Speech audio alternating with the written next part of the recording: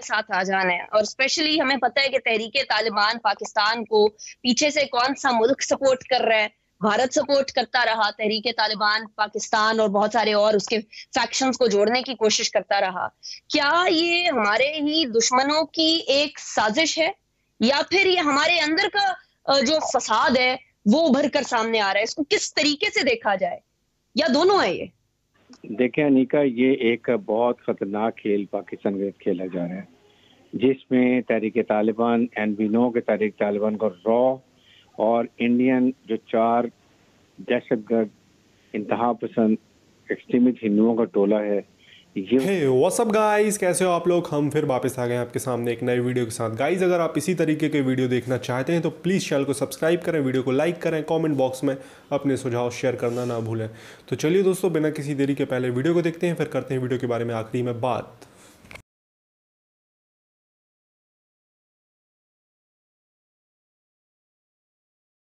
देखने वालों को रमज़ान का पहला रोजा बहुत मुबारक हो। पहली अफ्तारी गुजर चुकी है। लेकिन दिल में रह रह कर उन लोगों का ख्याल आ रहा है जिन्होंने पिछले कुछ दिनों में जो राइट्स हुए हैं, इसके अंदर शहादत जाम शहादत नोश किया है। जिसके अंदर दो पुलिस अफसरान हैं। कुछ ऐसे लोग हैं जो कि एम्बुलेंसेस के अंदर अपनी जानों की बाजी से हार गए और हाथ धो बैठे। कुछ ऐसे लोग हैं जिनको जख्मी किया गया। एक ऐसे नबी की आल से हम तमाम लोग हैं जो कि मोहब्बत का पैकर दो जहानों के लिए रहमत है।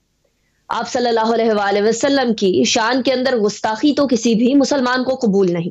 ना मुझे, ना आपको और ना ही दुनिया के अंदर बैठे किसी मुसलमान को। लेकिन ये उसी नबी सल्लल्लाहु अलैहि वसल्लम की आल भी है, जिस नबी ने कहा कि रास्ते में अगर पत्थर भी पड़ा हो तो किसी की राह को विदाउट एनी जरर बनाने के लिए विदाउट एनी रुकावट बनाने के लिए वो पत्थर उठा दिया करो, उसका भी सवाब है। फिर ये भी कहा कि जंग हुआ करे तो खातन को, मर्दों को, वो लोग जो कि आप की तरफ़ पनाह के लिए आए, उनको, दरख्तों को नुकसान ना पहुँचाया करो। और यहाँ, पिछले दो दिन में क्या हुआ कि वो लोग जिनको नबी की आल के लोग होने की, नबी सल्लल्लाहु अलैहि वसल्लम की आल होने की बुनियाद के ऊपर लोगों के रास्ते खोल देने चाहिए थे। लोगों के लिए रुकावटें दूर कर देनी चाहिए थी। वो लोगों के लिए रुकावटों का बायस बनते रहे। उसके बाद वही लोग जिनको जंग की हाल में भी किसी की अमलाक को नुकसान ना पहुँचाने का दर्श दिया, पैगाम दिया आप सल्लल्लाहु अलैहि वसल्लम ने, उन्होंने सरकारी अमलाक को नुकसान पहुँचाया, एम्बुलेंसेस को मार कुटाई करके तोड़ा जलाया घिर, घिराव किया बहुत सारे इलाकों का।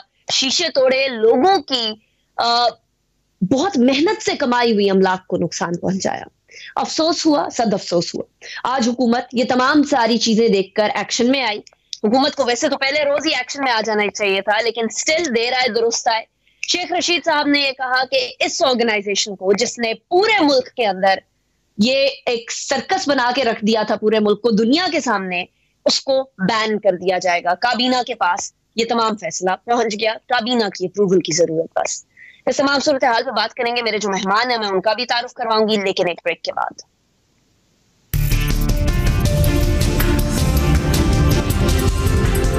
Welcome back the break break पे जाने से पहले कुछ हालात और अहवाल uh, पूरे मुल्क के आपके सामने रखे मुख्तलिफ़ शहरों के अंदर मुख्तलिफ़ जगहों पर मुख्तलिफ़ शाहराओं के ऊपर। Uh, एक तो सबसे पहले ब्रिगेड साहब ये अभी मुजरत साहब अभी इस बात की तरफ़ इशारा कर रही थी कुछ शेख रशीद साहब ने भी किया जो तालिबान की सपोर्ट इस तरह के लोगों के साथ आ जाना है और स्पेशली हमें पता है कि तहरीके तालिबान पाकिस्तान को पीछे से कौन सा मुल्क सपोर्ट कर रहा है भारत सपोर्ट करता रहा, तहरीक तालिबान, पाकिस्तान और बहुत सारे और उसके फैक्शंस को जोड़ने की कोशिश करता रहा। क्या ये हमारे ही दुश्मनों की एक साजिश है? या फिर ये हमारे अंदर का जो फसाद है, वो उभर कर सामने आ रहा है? इसको किस तरीके से देखा जाए? या दोनों है ये? देखें अनिका, ये एक बहुत खतरनाक खेल, पाकिस्तान में खेला जा रहा है। जिसमें तहरीक तालिबान एंड वी नो के तहरीक तालिबान को रॉ और इंडियन जो चार दहशतगर्द इंतहा पसंद एक्सट्रीमिस्ट हिंदुओं का टोला है ये उसको सपोर्ट कर रहे हैं। और हमारे पास फिफ्थ जनरेशन वॉर है और फिफ्थ पान का it's a part of it कि आप अपने मुल्क में दशात पैदा करते हैं कुछ लोगों को प्लांट करके और वो करते हैं। जिस तरीके से इन्होंने डंडों से जो हमारे पुलिस के लोग शहीद हुए हैं वो भी आशिक रसूल वो कहते रहे कि हम मुसलमान हैं हमारे बच्चे मदरसे में पढ़ते हैं हम रसूल अकरम सल्लल्लाहु अलैहि वसल्लम को बिलीव करते हैं उनके आशिक हैं। और फिर दूसरे जो ये मारे थे ये भी आशिक रसूल हैं, कितना बड़ा जुल्म है। और फिर रेट ऑफ़ द गवर्नमेंट को इस तरीके से चैलेंज करना। आई थिंक मुझे आज पहली दफ़ा खुशी हुई है जब हुकूमत पाकिस्तान ने इनको बैन करने की बात की है। और फिर बड़े जो इनके रिंग लीडर उनको अरेस्ट करने की बात की है। You have to show your strength you don't have to come to knees के ये ऐसे लोग आके ये तरीके से करें। इसलिए मेरे ख्याल में अब राइट टाइम था। अदरवाइज़ आज इसको हम नहीं रोकेंगे तो कल पीडीएम के लोग इसी तरीके से मौलाना फजल के डंडे उठा के निकलेंगे। ये सेकंड स्ट्रिंग में वो तैयार बैठे हुए हैं। इसलिए ये ज़रूर मैसेज आना चाहिए और ये बड़ा खतरनाक है। जिस तरीके से इन्होंने मारा लोगों को जिस तरीके से एंबुलेंस हम्म। में लोग मारे गए हैं जिस तरीके से लोगों की इमलाक को नुकसान पहुँचा आई थिंक अनकॉल्ड फॉर ये बहुत अच्छा लेकिन ब्रिगेड साहब इसको यहाँ तक पहुँचने में वक्त लगा है। अब बहुत सारे इल्ज़ाम लगते रहे। पिछला फैजाबाद धरना हुआ उसके अंदर इवन एस्टेब्लिशमेंट के ऊपर इल्ज़ाम लगा कि जी आपने सपोर्ट किया है। फिर पाकिस्तान तहरीक इंसाफ ने उस टाइम पर बोला था कि जी हम जाकर बैठ जाएँगे। उन पर इल्ज़ाम लगा कि जी आपने भी सपोर्ट किया इसलिए इतना बड़ा जन बनकर सामने आ गए हैं। इस बात में कितनी सदाकत या कितनी सच्चाई हो सकती है या नहीं हो सकती? लेकिन ट्रस्ट मी इस वक्त जो है army is very busy in their operation task चाहे वो जरब अजब हो, रद्दुल फसाद हो, अभी लाइन ऑफ़ कंट्रोल पर हालात ठीक हैं। हमारे बहुत लोगों ने शहादतें दी हैं। यंग बच्चियाँ जो विडोज है ना, यकीन करें बिकॉज़ आई फ्रॉम आर्मी मुझे पता है उनके पेरेंट्स से पूछें कि उन बच्चियों का क्या हाल है।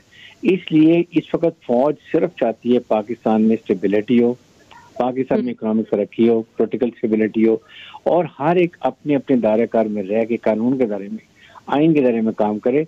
फौज बिल्कुल इन चीज़ों में इन्वॉल्व नहीं है। उस वक्त मकसद था उनको उठाने का।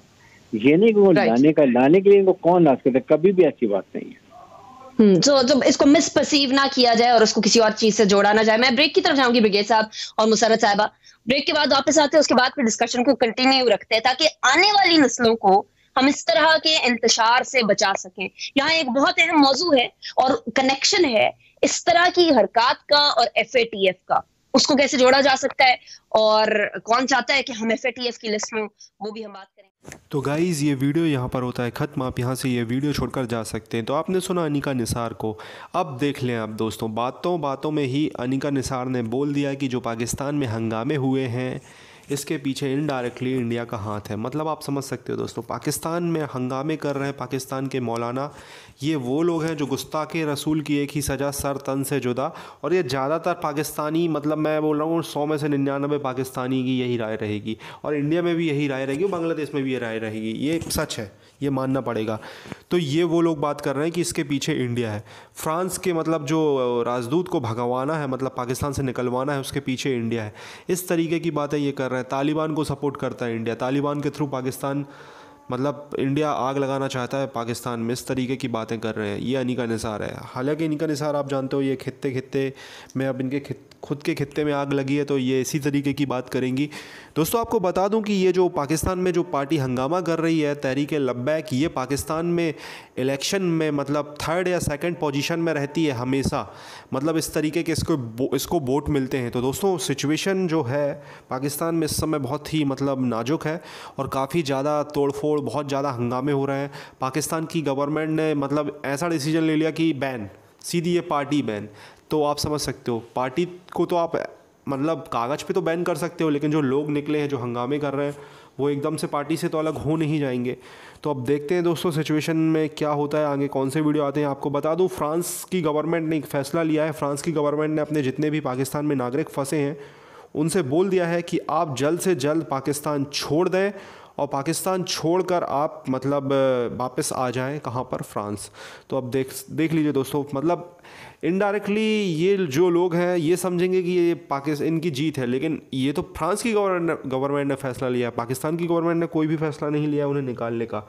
तो अब देखते हैं मामला कहाँ तक जाता है।